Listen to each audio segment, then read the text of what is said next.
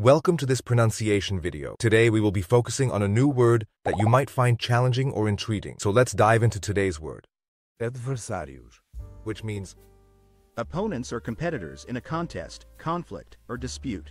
let's say it all together. adversários, adversários, adversários, One more time. adversários, adversários, adversários.